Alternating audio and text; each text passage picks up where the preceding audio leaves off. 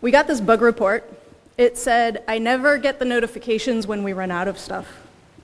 And it went on to explain that they were warned when they were running low on something, so they knew to make plans to replenish, but then when they tried to use the resource, sometimes they'd already be out. The context here is a game. It's an online, multiplayer, zombie apocalypse, role-playing game, and running out of stuff is problematic. Almost every decision that you make in this game has to do, depends on what you have and what you need. And the notifications get triggered on various events, for example, when zombies are spotted or when people join or leave tribes, and of course anything to do with gaining or losing resources. So the notification in question is resource depleted. And the cause of the bug was that for all of our notifications, we had a text version of the notification that went to some notification channels and an HTML version of the notification that goes to other notification channels. And they were defined separately, and they were out of sync. So as you might have guessed, this is a copy-paste error. We copied the resource scarce notification to create resource depleted, updated the text version, and forgot to edit the HTML version. You know, you might be thinking, shouldn't the tests have caught this? Um, and the truth is, yes, they should have. And they probably would have if we had written any. so yeah, the notify package is kind of gross, and also there are no tests. Now, we were actually okay with this. Right? When we first implemented the notifications, there weren't, they weren't all that important. We didn't have very many of them. They were straightforward. We had only one notification channel. Over time, they started becoming more and more central to the mechanics of the game, and we implemented more of them, and they became a lot more complex. So this bug report served as a signal to the team that it was time to get this part of the code base under control. What we really wanted was for it not to be possible for the plain text version and the HTML version to get out of sync. And the first step was to add tests. Now here's what's tricky. The functions in the notify package call functions on our comms package, which in turn talk to a third-party pub sub service. And that means that our tests would have to be making calls over the network to a service that we don't control and which would fail in unexpected ways. And it's not great for testing. Now there might be a way to add some configuration to the comms package to let us bypass the PubSub service, but if we're not publishing the messages to uh, the PubSub service, we'd have to publish them to somewhere else so that we could actually check them. There was, there was no way to get in between there. And the thing is, we're not trying to test the comms package, we're trying to test the notify package. Like, we don't care about all of this complexity. We, all of these functions are completely incidental to our purpose. What we want to know is, did the message say the right thing? And did the right people get the message? And it turns out there's a very careful dance that you can do to make it utterly trivial to test the feature. And with this maneuver, you'll never be more than 30 seconds away from a production deploy at all times throughout the entire process. The process is called the no-op, no-op, no-op interface maneuver. I'm using the term no-op here loosely to mean changes that don't actually change anything. Now, on the surface, that might seem pointless, but it's doing nothing with a purpose. So what the no-op, no-op, no-op interface maneuver lets us do is move things around in tiny increments until we can tell the notification functions who to talk to for all of their communication needs. And then in production, we'll use a real transmitter, and in test, we can pass in fake transmitters that just keep track of what happens and don't talk to pub sub services or write to the database or do anything asynchronously that we would have to jump through hoops to test. Now, almost every single step in this maneuver is safe. In this context, safe has a very precise and technical definition. A safe step is one change where the code will work both before and after the edit. Right? When you have tests, this is fantastic. It means you can make a single edit, run the tests. If they fail, you back them out with one undo. When you don't have tests, it's even more important that each step is small and demonstrably safe, because if the path between one working uh, state and another is 20 or 50 or 100 steps, then you are virtually guaranteed to get it wrong. And there won't be any test to tell you what broke. And now you're relying on your customers to tell you what broke. It's not pretty. So there's one step in the no-op, no-op, no-op interface uh, maneuver that's not safe. There's a moment where the code won't work, but it's very brief, and you can lean on the compiler to fix it. So for our purposes, it's safe enough. All right, here we go, three no-ops and an interface. So the very first thing that you're gonna do is not change any existing code. And this is important. All the existing code works, and working code pays the bills. So here are the existing comms functions, which you're not going to change yet. Basically, the notify package assembles strings and figures out who the recipients are, and then uses these three functions to transmit the notifications to the right people in various ways. Now, since these are package functions, it's really hard to fake them out in a useful way. And what we need is a type that we can pass around that does these three things. So let's make one. In the comms package, to define a new type. We're going to call it signal. It kind of doesn't matter what type it is because it's not going to have any data or values um, or fields, it's just a placeholder. It's a hook where we can attach some behavior. So we're going to define three methods on this type, one for each function. Each method needs to have the same signature as the original function, and each method should be empty at this point. Now back in each of the old functions where you already have mountains of code, you're going to add a single line to each function that calls the equivalent method on a pointer to a value of type signal right? That value is a package variable, it's just a nil pointer, and since the methods are defined on that pointer, this works without ever assigning anything to it. So that's no-op number one. We created a new type with empty methods, and we updated the code to call those methods. The original comms functions are now doing two things. First, they're doing all of their actual work, and then they're calling a method which does nothing. So next, you're going to move all of the code from the old function to the new method. And that's it. That's no-op number two. So the notification is still calling the old function. The old function is forwarding that call to the new method, and the new method is doing the heavy lifting. Now, now we want to cut the middleman out of the transaction. We have this new type, we want our notify package to talk to it directly. And to do this, we need to change the notify function signatures to accept an argument which is a pointer to a value of type signal. So first you add the parameter to the function signature. Now this is the unsafe stuff. This is where the code won't compile because none of the callers are passing in the argument. So we need to update all the callers. And now the code compiles again and everything works. The body of the function is still talking directly to the comms package. Update this to use the com argument instead. And now the original comms functions are no longer being called, and so they can be deleted. And that's no-op number three. We injected the dependency into the notify function and got the function to talk to the injected dependency. So we added all of this code, all of this indirection, in order to keep doing exactly what we were already doing. And we still can't add tests. But this is where the magic happens. In the comms package, define an interface that corresponds to the three methods on the signal type. And then in the notify package, instead of using the concrete type as, as the parameter, switch it out to use the interface type. And everything still compiles, everything still works.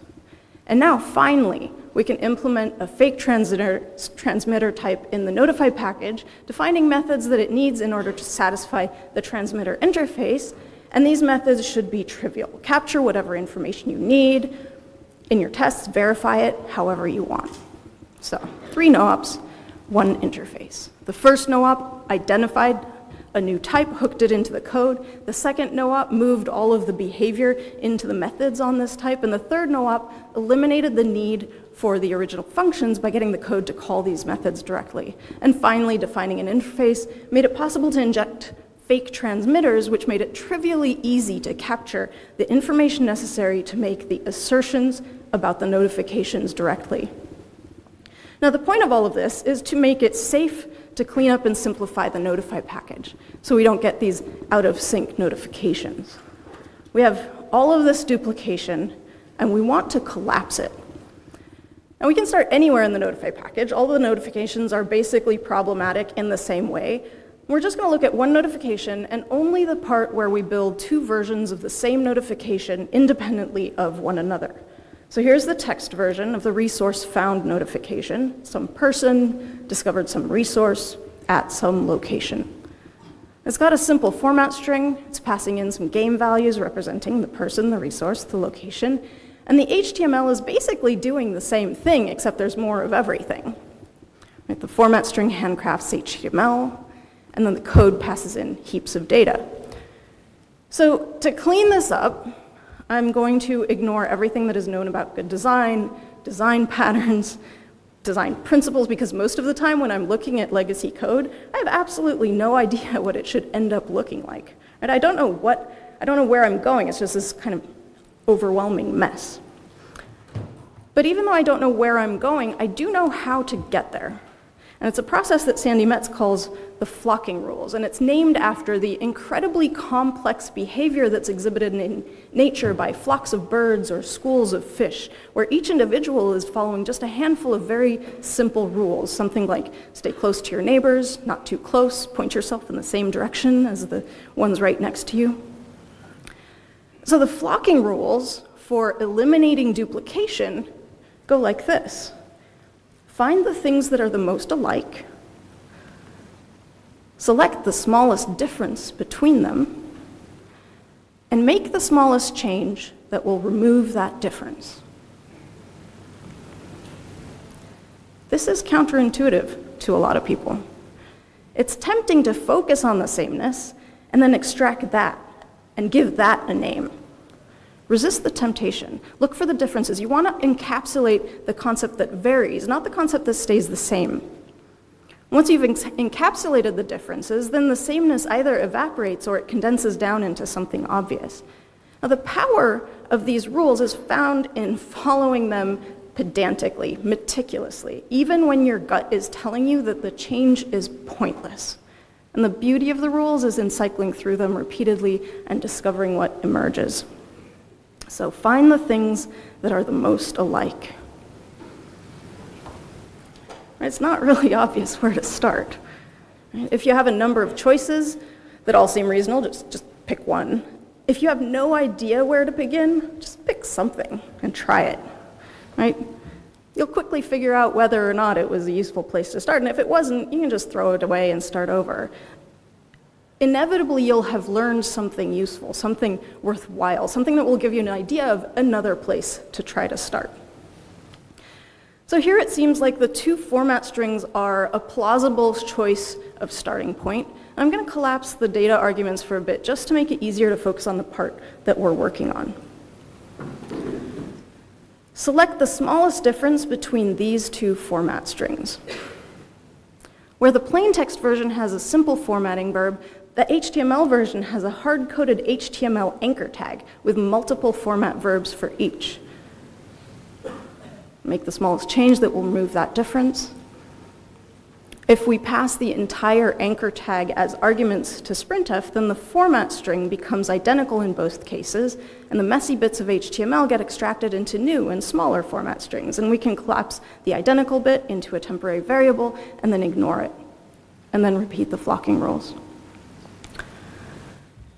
So we're going to look at the anchor tag creation code that we just extracted. Suddenly it seems a lot more repetitive than it did back when it was embedded in the rest of the HTML notification. There are a number of small differences. Let's start with the href. We need to make them identical. And the cleanest thing here is probably to define a URL method on the individual game types. And to be fair, we shouldn't be hard-coding uh, URLs paths all throughout the code base. So this is going to clean up a bunch of things in the rest of the code base, which is a nice bonus. And once we've done that and we call those URL methods, things are looking considerably less noisy, and we can repeat the flocking rules. That template escaping thing is really similar. The only inconsistency is the argument that we're passing.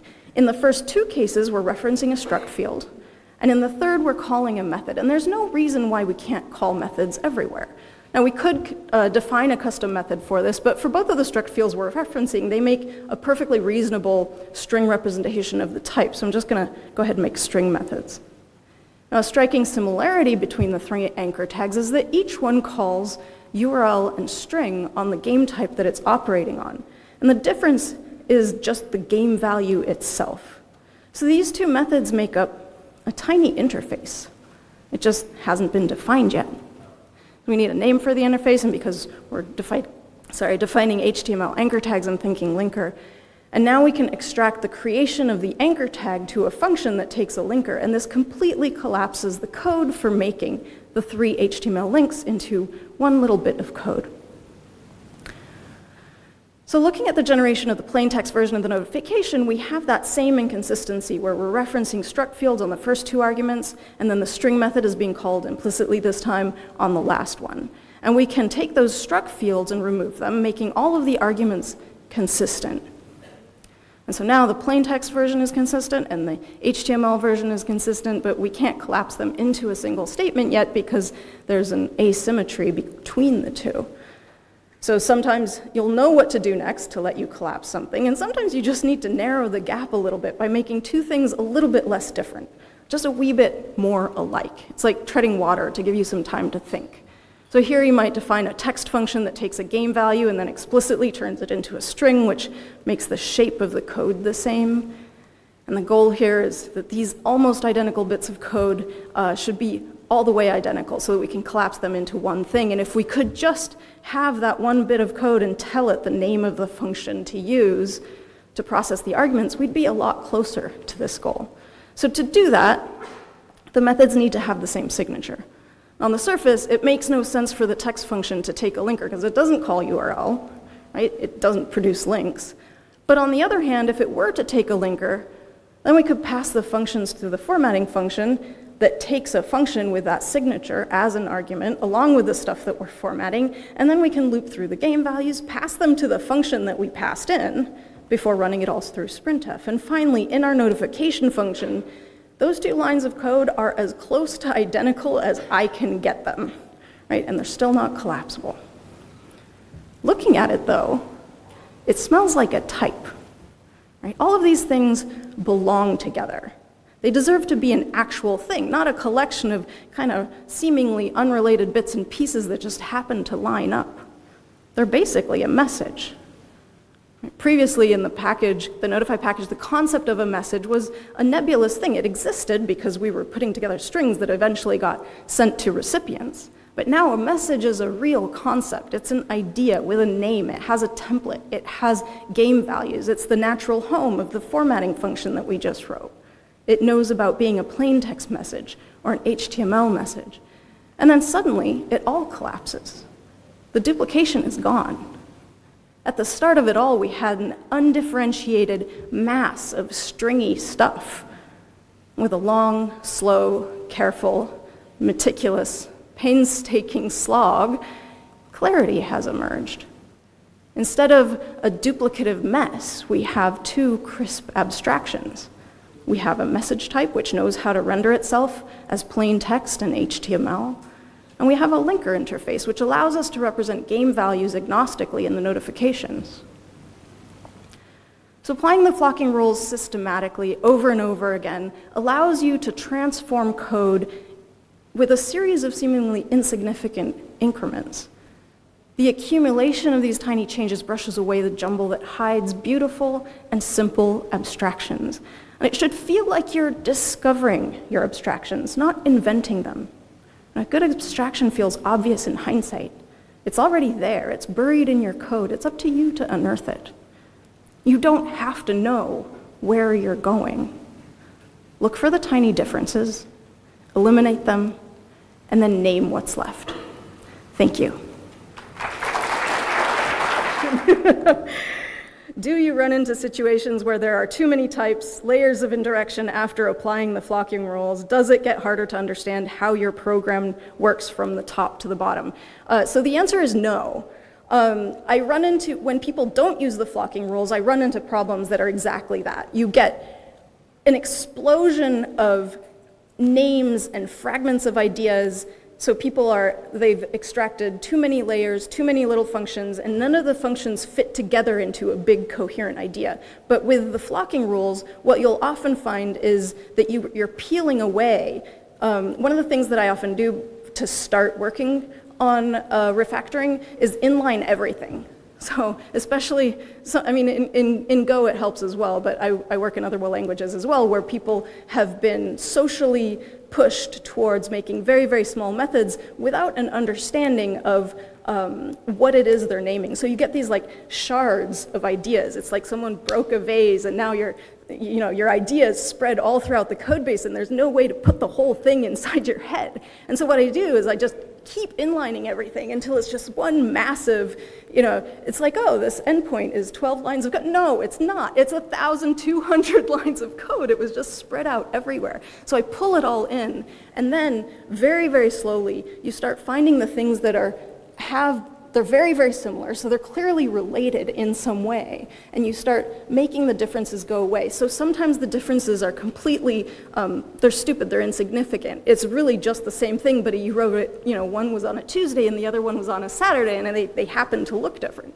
So now you're making things look more alike, which means that you're starting to recognize the ideas that are really, truly there, and the differences that are actually meaningful. And so you start seeing things that were named the same, but they're not the same idea. Now you have puns in your code base, and it makes it way harder to understand. So you can decide that no, when we say this one thing, it means this thing. When we say this other thing, like we have to give it a different name. Otherwise, uh, we're all going to be in trouble. So I found that, that with the flocking rules, I'm forced to uh, make a very careful distinction between meaningful differences and um, incidental differences and remove them one layer at a time until I'm left with something that is actually meaningful. And what you'll also find uh, very often is that you'll have, um, you know, it's, it started off with 12 lines of code, you inline it, now you have 1,200 lines of code. Basically, it's all one big conditional that's nested with, you know, conditionals in your conditionals all the way down. And you find um, that you, the, the next step then is to try to make all of the conditionals explicit. So you have this enormous conditional and, and pull it all up so that you have, well, if it's this and this, but not that, and the other thing, but also definitely not this other thing, um, suddenly you start uh, seeing that you really truly have only 27 paths through your code base because the other five that you defined, turns out they're all dead, so you can delete them.